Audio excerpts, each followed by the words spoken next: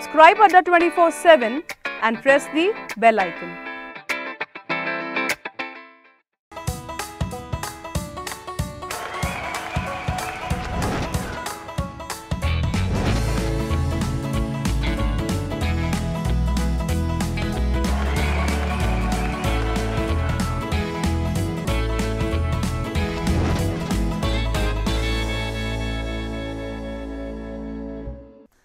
And welcome my dear student स्वागत है आपका अड्डा 24 सेवन और एसएससी अड्डा पे। दोस्तों, यहाँ आपको एक बात पहले इन्फॉर्म कर देना होगा। मेरे वो व्यूवर्स जो अड्डा 24 सेवन पे अड्डा 24 सेवन पे जो मेरे लेक्चर को देख रहे हैं, वो आज से सिर्फ़ मेरे लेक्चर को एसएससी अड्डा पे देखें। कहाँ पे देखें? एसएससी अड्डा पे। क्योंकि अड्डा 24 सेवन पे मैं सात से आठ नहीं, बल्कि सेवन टू एट पीएम मैं किस पे मिलूँगा दोस्तों? सिर्फ़ एसएससी अड्डा पे। तो मेरे दोस्तों प्लीज़ आपसे रिक्वेस्ट है कि जो लोग भी अड्डा 24 सेवन वहाँ पे एक अलग प्रोग्राम चलेगा। इंग्लिश की क्लास चलने वाली है उसी समय पे। तो दोस्तों, वो तो वहाँ पे आप देखेंगे ही, साथ ही साथ जिनकी रिक्वायरमेंट जीएस है एसएससी है, वो क्या करेंगे? एसएससी अड्डा रेलवे है जिनकी रिक्वायरमेंट वो सेवन टू एट पे हमसे मुलाकात करेंगे। चलो दोस्तों, ये तो रहा एक इंफॉर्मेशन अब जरा अपने मुद्दे पे आ जाते हैं। तो मुद्दे की बात भैया आज ये है कि सबसे पहले तो गुड इवनिंग और वार्म वेलकम क्योंकि अब हम लोग अपने त्योहारों के सीज़न में इंटर कर चुके हैं तो बेहतरीन टाइप का लेक्चर होना चाहिए। हम लोगों ने पिछले लेक्चर्स में मौर्य वंश के बारे में पढ़ा था, जिसमें हम लोगों ने चंद्रगुप्त मौर्य और बिंदुसार के बारे में पढ़ा था। आज हम लोग क्या पढ़ने वाले हैं दोस्तों? मौर्य वंश के उगते हुए सूरज अशोक के बारे में, जिसने मौर्य वंश को इतना ऊंचाई तक ले गया, जितना शायद भारतीय इतिहास में कोई राजा नहीं पहुँच पाया। तो माय डियर स्टूडेंट्स आज का हम लोग का लेक्चर किसके ऊपर है? महान अशोक के ऊपर। लेकिन ये जो अशोक से महान अशोक बनने की जो प्रक्रिया है दोस्तों, वो जटिल है, बड़ी है, संघर्षपूर्ण है। ऐसे ही भगवान राम मर्यादा पुरुषोत्तम श्री राम नहीं कहलाए और ऐसे ही अशोक, महान अशोक, सम्राट अशोक नहीं कहलाया। तो दोस्तों, जुड़ते हैं जरा अशोक के साथ। फैक्ट बेसिस की क्लास लेते हैं कॉन्सेप्चुअल क्लास लेते हैं। दोस्तों, अशोक के पिता बिंदुसार, जो कि 272 बीसी में जिनकी क्या हो गई थी? मृत्यु हो गई थी। अब 272 में पिता की मृत्यु। पिता की मृत्यु देखो दोस्तों कब हुई? 272 में। अशोक राजा कब बने? 268 बीसी में। बीसी में दोस्तों समय पीछे की तरफ़ आता है। Before the birth of Christ confuse मत होइएगा, ये ईसा मसीह के जन्म से पूर्व की बात हो रही है। तो 272 में इसके अब इन पाँच वर्षों में क्या किया? अलग अलग अभिलेख अलग अलग धर्मों ने अपने हिसाब से इसकी विवेचना की। कुछ धर्मों ने कहा, अशोक ने इस समय अपने भाइयों की हत्या की सत्ता लालच में। स्थिति चाहे जो कुछ भी रहा हो, भारत पे मगध पे राज करने वाला 272 बीसी में कौन हो गया? 268 बीसी में अशोक। अब इसका राज कहाँ पे शुरू हुआ दोस्तों? मगध पे शुरू हुआ। शुरू में अशोक बड़ा ही अत्याचारी टाइप का राजा माना गया। युद्धों में लगा रहता था और इसने अपने राजा बनने के आठवें वर्ष, जैसे ही इसका आठवां वर्ष आया, इसके राजा बनने का मतलब 261 बीसी 261 बीसी में इसने एक बड़ा महत्वपूर्ण युद्ध लड़ा दैट इज़ कलिंग युद्ध। अब इसने कलिंग युद्ध लड़ा खारवेल नरेश के खिलाफ। अब यहीं से अशोक का कायाकल्प हुआ। इन सात वर्षों में अशोक ने ऐसा कोई मेजर काम नहीं किया जिसके लिए अशोक को पढ़ाया, समझाया या बताया जाए। 261 में कलिंग युद्ध लड़ा, खारवेल नरेश के खिलाफ, और जब इसने ये कलिंग युद्ध लड़ा दोस्तों तो अनेकों हज़ारों लोगों को मारा। कहा जाता है कि अशोक हमेशा उस एरिया में जाके युद्ध लड़ता था, जहाँ दुश्मन के सैनिक बहुत ज़्यादा हुआ करते थे, और इसको अपनी तलवारों पे, अपनी भुजाओं पे अत्यंत भरोसा था। कहता था, फ्रंट से तो मुझे कोई मार ही नहीं सकता। यदि कोई दुश्मन मुझे मारेगा भी तो पीछे से मार पाएगा, पीठ पे वार करेगा। तो मेरे पीठ की रक्षा करो मेरे अंगरक्षकों, सामने से तो मैं देख लूँगा। क्लियर है? इस तरीके से इसने कई हज़ार लोगों को कलिंगी मैदान में मार डाला। और इसकी एक आदत थी, ये लोगों को युद्ध के उपरांत, कुछ इतिहासकारों ने कहा है कि अगले दिन सुबह युद्ध मैदान में ज़रूर टहला करता था और लाशों को देखा करता था। इस क्रम में कलिंग युद्ध में भी जब युद्ध हो गया तो ये महानदी स्नान करने के लिए जाता उड़ीसा में कलिंग है, कलिंग में मतलब वही उड़ीसा में महानदी भी फ्लो होती है, महानदी स्नान के लिए जा रहा था। रास्ते में इसकी, देखो इसका हृदय परिवर्तन कहाँ से होता है? रास्ते में इसकी मुलाकात एक तेरह चौदह वर्ष के, तेरह या फिर चौदह वर्ष के एग्जैक्ट उम्र तो नहीं पता दोस्तों, तेरह या चौदह वर्ष के बौद्ध भिक्षु, बौद्ध लड़के से होती है, बौद्ध बालक से इसकी मुलाकात होती है। अब उस बौद्ध बालक से यह मिलता है और पूछता है कि क्यों विलाप कर रहे हो? उस बौद्ध बालक ने अपने विलाप, अपने रोने का कारण किसी दुष्ट अशोक के द्वारा उसके पिता की हत्या बताई गई, जो कि उसका पिता एक सैनिक हुआ करता था। अशोक ने कहा, इसमें विलाप करने जैसा कुछ नहीं है। तुम्हारे पिता को वीर गति प्राप्त हुआ है। तब इस बौद्ध बालक ने जो तेरह चौदह वर्ष का था, इसने कहा कि सुनिए महोदय, मैं आपको जानता नहीं हूँ, लेकिन तेरह चौदह वर्ष की उम्र में मुझे अपने पिता का वीर गति या सम्मान नहीं, मुझे रोटी, कपड़ा और मकान चाहिए महोदय। क्या करूँगा मैं सम्मान लेके कि मेरे पिता वीरगति को प्राप्त हुए हैं? तो अशोक बोला कि इस हिसाब से यदि अशोक मिल जाए तो तुम उसे मार डालोगे? तो इसने बोला, नहीं, मैं उसे क्षमा करूँगा और उसे उसके गलतियों के पश्चात पश्चाताप का अवसर दूँगा। यहाँ से अशोक का हृदय परिवर्तन शुरू होता है।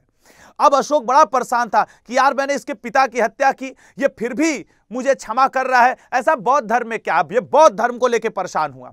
ऐसे समय इसकी मुलाकात, अशोक की मुलाकात किससे होती है? एक उपगुप्त नाम के बौद्ध भिक्षु से। किससे होती है दोस्तों? उपगुप्त नाम के बौद्ध भिक्षु से। अब जब उपगुप्त नाम के बौद्ध भिक्षु से इसकी मुलाकात हो जाती है दोस्तों तो इस बौद्ध भिक्षु से इसने किस धर्म की दीक्षा ले ली? बौद्ध धर्म की। अब अशोक अपने जो इसके दादा चंद्रगुप्त मौर्य जैन धर्म की दीक्षा लिए थे, इसके पिता बिंदुसार आजीवक धर्म की दीक्षा लिए थे और अब अशोक ने किस धर्म की दीक्षा ले ली? बौद्ध धर्म की दीक्षा ले ली। जब इसने बौद्ध धर्म की दीक्षा ली, तब तो ये बौद्ध धर्म के प्रति बहुत डेडिकेटेड हो गया। तो इसके राज्य के जो लोग थे, वो भी क्या हुए? बौद्ध धर्म के प्रति जाने लगे। तो दोस्तों, अभी तक हम लोगों ने क्या देखा कि बौद्ध धर्म की दीक्षा चंद्रगुप्त मौर्य सॉरी, अशोक ने किससे ले ली? आपके उपगुप्त से ले ली। अब जब बौद्ध धर्म की दीक्षा उपगुप्त से इसने ले ली तो देखिए इसके आगे क्या होता है। अब इसके मन में बौद्ध धर्म, अहिंसा से के ये बहुत करीब हो गया और हिंसा से बहुत दूर हो गया। यहाँ पे शुरू होता है अशोक के लाइफ का रियल फ़ेज़ जहाँ से इसे जो अशोक से अशोक महान बनने की प्रक्रिया। अब अशोक को यह लगा कि भैया, हमारे राज्य में, हमारे पिता बिंदुसार के जो फॉलोअर हैं, वो आजीवक धर्म के हैं। मेरे जो फॉलोअर बनते जा रहे हैं, वो बौद्ध धर्म के बनते जा रहे हैं। तो मगध में बौद्ध और आजीवक के बीच में टकराव की स्थिति आ जाएगी, बौद्ध और आजीवक। तो इसके पिता के फॉलोअर कौन से थे? आजीवक। इसका पिता कौन था? बिंदुसार। तो इसने क्या किया कि आपकी जानकारी के लिए बता दूँ कि आजीवक धर्म वालों के लिए इसने मगध में एक पहाड़ी हुआ करती थी, बराबर। उसका नाम था बराबर की पहाड़ी। इसने बराबर की पहाड़ी में, दोस्तों, क्या किया? बराबर की पहाड़ी में अशोक ने गुफा निर्माण करवाया। गुफा मतलब आप समझते हो केव, गुफा निर्माण करवाया दोस्तों, इसने कहा बराबर की पहाड़ी में। कई बार पूछता है, बराबर की पहाड़ियों में गुफाओं का निर्माण किसने करवाया था?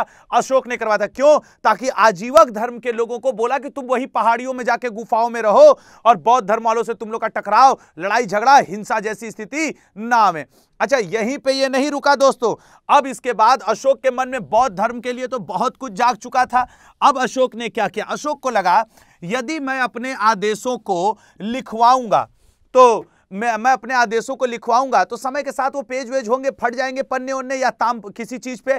तो अशोक ने भारत में किसकी शुरुआत की दोस्तों? शिलालेखों की शुरुआत की, अभिलेख की शुरुआत की। और इसके जो अभिलेख होते थे, अभिलेख होते थे दोस्तों, वो तीन प्रकार के हुए। शिलालेख, गुहालेख। शिला मतलब दोस्तों बड़े बड़े चट्टानों, पहाड़ों पर लिखवाता था। फिर गुहालेख, जो कि गुहा मतलब होता है गुफा। आजीवक धर्म वालों के लिए जो गुफा बनवाया, उसमें अपने आदेश लिखवाया।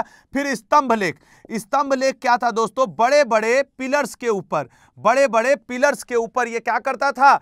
अपने आदेशों को लिखवाता था और उनको हाथियों के ऊपर लदवा करके, चौराहों पे ले जाके लगवा देता था अपने साम्राज्य के सीमाओं के अंदर, ताकि लोग बौद्ध धर्म की शिक्षाओं को पढ़ सकें। इन तीनों लेखों को लिखवाने के लिए इसने चार लिपियों का प्रयोग किया दोस्तों। ब्राह्मी, खरोष्ठी एक प्रयोग किया था, ब्राह्मी, एक लिपि थी, खरोष्ठी लिपि, फिर अरमाइक लिपि, अरमाइक और ग्रीक, अरमाइक और अरेमाइक और ग्रीक, ये चार इसने लिपियों का प्रयोग किया था, ब्राह्मी लिपि, खरोष्ठी लिपि, अरमाइक लिपि और ग्रीक लिपि। ये चार लिपियाँ थी जो इन शिलालेखों को लिखने में। पूछता है, शिलालेखों की संख्या कितनी थी? शिलालेखों की संख्या कितनी हुआ करती? दोस्तों, तेरह। स्तंभ लेखों की संख्या जो दोस्तों हुआ करती? ये जो स्तंभ लेख थे दोस्तों, ये केवल सात थे और इनके बारे में जानकारी नहीं है, गुहा लेख कितने हैं? इन जो स्तंभ लेख थे दोस्तों, ये केवल और केवल ब्राह्मी लिपि में लिखे हुए थे। ब्राह्मी लिपि में लिखे हुए थे कौन? स्तंभ लेख। जबकि शिलालेख और गुहा लेख, ये जुआ करते दोस्तों, ये इन चारों में मिक्स में लिखे गए थे। यहीं पे नहीं रुकता अशोक। अशोक अपने पुत्र और पुत्री, ये क्लियर है ना? अभिलेखों की शुरुआत भारत में किसने की? अशोक ने की। शिलालेख गुहालेख स्तंभ लेख, तीन प्रकार के इसके लेख हुए दोस्तों, जो चार लिपियों, ब्राह्मी खरोष्टी अरमाइक और ग्रीक में लिखे गए। अब यहीं पे अशोक नहीं रुकता है दोस्तों। अशोक ने अपने पुत्र महेंद्र और संघमित्रा को कहाँ भेजा था? श्रीलंका। महेंद्र, इसके पुत्र का नाम क्या हुआ करता था दोस्तों? महेंद्र। और इसकी लड़की का नाम क्या हुआ करता था दोस्तों? संघमित्रा तो महेंद्र और संघमित्रा को इसने कहाँ भेजा हुआ था? सिलोन। सिलोन जो हुआ करता था दोस्तों, आधुनिक क्या है? श्रीलंका। आधुनिक श्रीलंका। यही इस समय श्रीलंका है। क्लियर है दोस्तों? आधुनिक श्रीलंका। और उस समय पूछता है कि जब अशोक भारत में मगध का राजा था, अपने पुत्र और पुत्री को बौद्ध धर्म के प्रचार के लिए प्रोपोगेशन ऑफ़ बौद्ध के के लिए जब सिलोन भेजा, उस समय वहाँ का इसका समकालीन राजा कौन था? दोस्तों, याद रखना, तिश। ये तिश क्या था? तिस सिलोन का राजा, सिलोन तिश राजा, सिलोन का राजा कौन हुआ करता था? सिलोन का राजा तो तिश हुआ करता था दोस्तों। ये श्रीलंका का अशोक का समकालीन राजा भी हुआ करता था। उसके अलावा अशोक ने अपने राजा बनने के, जैसे 268 में तो राजा बना 261 में 261 में इसने क्या लड़ा था दोस्तों? कलिंग का युद्ध लड़ा था। यहाँ पे इसने क्या लड़ा था? कलिंग युद्ध लड़ा था और इसने two fifty eight two fifty eight में दोस्तों, अपने राजा बनने के दसवें वर्ष और बीसवें वर्ष में इसने कहाँ की यात्रा की थी? गया की यात्रा की थी। जहाँ गया की यात्रा मतलब बोध गया, जहाँ महात्मा गांधी महात्मा बुद्ध को क्या प्राप्त हुआ था? ज्ञान की प्राप्ति हुई थी। तो दो सौ बीसी में गया गया था अपने राजा बनने के दसवें वर्ष में। उसके अलावा अशोक ने दोस्तों, श्रीनगर, जम्मू कश्मीर में इसने श्रीनगर शहर की स्थापना की थी। यह भी याद रखिएगा, श्रीनगर नामक शहर की स्थापना भी किसने की थी? तो अशोक ने की थी। याद रखिएगा, ये जो छोटी छोटी इंफॉर्मेशन दे रहा हूँ दोस्तों एमसीक्यू के रूप में एक ही दो दिन में आपके आँख के सामने आएँगे। क्लियर है मेरे दोस्तों? अच्छा अशोक ने जो दोस्तों अपने शिलालेख लिखवाए, अभिलेख लिखवाए, वो सब भारत में शुरुआत करने वाला तो वही था। उनको अभी आज़ादी के, जब अंग्रेज़ हम लोग को गुलाम कर लिए तो उनको खोजने और पढ़ने वाला पहला प्रश्न कौन था? ये भी पूछता है। दोस्तों 1837 में और 1750 1750 अब यहाँ पे ये एडी है। बीसी नहीं है। 1750 में टी पाथेंदलर टी पाथेंदलर।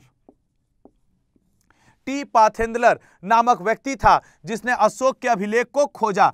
अभिलेखों को खोजने में सफलता हासिल की। सबसे पहले अभिलेखों को खोजा, सर्वप्रथम अभिलेखों को खोजा यह भी लिख सकते हैं। सर्वप्रथम अभिलेखों को खोजने का श्रेय किसे जाता है? तो टी. पाथेंदलर को जाता है। लेकिन यदि पूछे कि सबसे पहले इन अभिलेखों को पढ़ने में सफलता किसने हासिल की, तब दोस्तों आ जाएगा नाम जेम्स प्रिंसप। किसका नाम आ जाएगा दोस्तों? James Prinsep. James Prinsep. ये जो व्यक्ति था, जेम्स प्रिंसेप जो व्यक्ति था दोस्तों, इस व्यक्ति ने इन अभिलेखों को क्या किया था? इस व्यक्ति ने इन अभिलेखों को पढ़ने में सफलता हासिल की थी, डिकोड करने में सफलता, पढ़ने में सफलता हासिल की। ये दोनों क्वेश्चन सीजीएल कई बार पूछता है दोस्तों, पढ़ने में सफलता हासिल किसने की थी? तो जेम्स प्रिंसेप ने की थी। उसके अलावा दोस्तों आपको बताएँ कि जब अशोक अशोक राजा बना था, देखो कितने क्वेश्चन यहाँ से बनते हैं, वो सारे आपको बता दूँगा। दोस्तों जब अशोक राजा बना था तब क्या हुआ था? अशोक का नाम शुरू में क्या हुआ? अशोक के नाम एक बड़ा फ़ेमस हुआ था, अशोक वर्धन अशोक वर्धन। क्लियर है दोस्तों? अशोक का नाम अशोक वर्धन मिलता है। अशोक का नाम अशोक कहाँ पे मिलता है? और एक अशोक का नाम मिलता है दोस्तों देव नाम प्रिय दसी देव नाम प्रिय दर्शी ठीक है? देवताओं का प्रिय। ये अपने आप को, अपने अभिलेखों में क्या बोला है? देव नाम प्रियदसी एक क्वेश्चन पूछता है, अशोक का नाम अशोक वर्धन कहाँ पे मिलता है? तो पुराणों में मिलता है। अशोक का नाम कहाँ मिलता है? पुराणों में। देव नाम प्रियदसी इसका नाम कहाँ मिलता है? इसके स्वयं के अभिलेखों में मिलता है। स्वयं के अभिलेखों में। और ये नाम कहाँ मिलता है दोस्तों? पुराणों में मिलता है। और अशोक का नाम अशोक किस अभिलेख में मिलता है दोस्तों? तो दो अभिलेख हैं। मास्की अभिलेख और गुर्जरा अभिलेख। मास्की अभिलेख में इसका नाम क्या मिलता है? अशोक। और गुर्जरा अभिलेख में भी इसका नाम क्या मिलता है? अशोक। तो अशोक नोन एज अशोक इन अशोकवर्धन। ठीक है? अशोकवर्धन, पुराणों में अशोक नाम इसका अशोक कहाँ प्राप्त होता है? मास्की अभिलेख में। देव नाम प्रियदर्शी यह स्वयं को कहता था अपने अभिलेखों में। क्लियर है दोस्तों? उसके अलावा यदि बात किया जाए दोस्तों, इसके जो अभिलेख थे, जो इसने शिलालेख खास करके, इसके अभिलेख तो तीन क्षेत्र में थे, इसके अभिलेख कौन कौन हुआ करते थे? इसके जो अभिलेख हुआ करते थे दोस्तों, एक हुआ करता था शिलालेख, गुहालेख और स्तंभ लेख इसके शिलालेख में दोस्तों, शिलालेख, इसके जो शिलालेख थे दोस्तों, उसमें फ़र्स्ट और सेकेंड शिलालेख, उसके अलावा सिक्स शिलालेख और तेरहवा शिलालेख। इनके बारे में पूछता है कि इन शिलालेखों में किसका ज़िक्र मिलता है। फ़र्स्ट शिलालेख में इसने पशु बलि की निंदा की है। किसकी निंदा की है दोस्तों? पशु बलि की निंदा की है कि जानवरों की हत्या न की जाए, जानवरों को न मारा जाए। पशु बलि की निंदा की है। दूसरे में इसने पशु एवं मनुष्य चिकित्सा का वर्णन किया है। पशु एवं मनुष्य चिकित्सा का वर्णन किया हुआ है। चिकित्सा का वर्णन किया हुआ है दोस्तों, इसने दूसरे वाले में। छठवें में इसने आत्मनियंत्रण आत्मनियंत्रण सेल्फ कंट्रोल की बात की हुई है। ये सब पूछता है दोस्तों, इसलिए ध्यान रखना लेक्चर आपका, आपके नंबर देने के हिसाब से चल रहा है, आपके इंटरटेनमेंट के हिसाब से नहीं चल रहा है। कुछ लेक्चर्स कुछ लोग सोचते हैं यार इंटर इंटरटेनमेंट नहीं भाई इंटरटेनमेंट पिक्चर देख के होता है, खेल करके होता है, पढ़ करके इंटरटेनमेंट तो मैं नहीं समझता हूँ किसी का होता है, पढ़ के उसी का इंटरटेनमेंट होता है, जो अपने करियर के प्रति संजीदा होता है। उसका इंटरटेनमेंट ज़रूर होता है कि भाई पढ़ाई से भी इंटरटेनमेंट और इसने तेरहवें अभिलेख में, दोस्तों, किसका वर्णन किया है? कलिंग युद्ध का वर्णन किया हुआ है। कलिंग युद्ध का वर्णन किया हुआ है। क्लियर है मेरे दोस्तों? तो जरा एक बार अशोक के बारे में फिर से देखते हैं। अशोक 268 बीसी में राजा बना, इसके नाम अशोक अशोक वर्धन, और आपके देव नाम प्रियदर्शी पड़ा, इसके पुत्र और पुत्री महेंद्र और संगमित्रा थे, जो श्रीलंका तिश के पास प्रचार के लिए गए थे। इसने 261 में क्या लड़ा था? कलिंग युद्ध लड़ा था। इसे बौद्ध भिक्षु ने इसके मन को बदला था। उपगुप्त ने इसे बौद्ध धर्म की दीक्षा दिलाई थी। बराबर की पहाड़ियों में इसने गुफा का निर्माण किया था। उसके अलावा इसके अभिलेख तीन प्रकार के हैं। गुहालेख शिला, शिलालेख और अभिलेख। उनको लिखने में चार लिपियों का प्रयोग किया गया। खरोष्ठी, ब्राह्मी, ग्रीक और अरेमाइक का प्रयोग किया गया, दोस्तों। उसके बाद यदि देखा जाए, एक और चीज़ तो अशोक ने अपने अभिलेख शिलालेखों में, शिलालेखों की संख्या तेरह है दोस्तों, अभिलेखों, आपके स्तंभ लेखों की संख्या सात है, जो केवल और केवल ब्राह्मी लिपि में लिखे गए हैं। उसके अलावा दोस्तों, यदि बात किया जाए किसकी? अशोक के बारे में कि अशोक से अशोक महान बनने की प्रक्रिया तब पूरी होती है अशोक, जब अशोक बौद्ध धर्म को स्वीकार करके अहिंसा के रास्ते पे मुड़ जाते हैं। जब तक वो हिंसा करते रहते हैं, अशोक को कोई भी महान नहीं बोला था दोस्तों। इस बात को आप क्या रखेंगे? ध्यान रखेंगे। तो बस दोस्तों, आज बस अशोक के ऑब्जेक्टिव के हिसाब से मैंने आपको पढ़ाया। अब नेक्स्ट लेक्चर में उम्मीद करते हैं कि जब इसके एमसीक्यू आपके सामने आएँगे तो आप बेहतरीन ढंग से इसके एमसीक्यू को कर पाएँगे। तब तक के लिए दोस्तों जय हिंद जय भारत।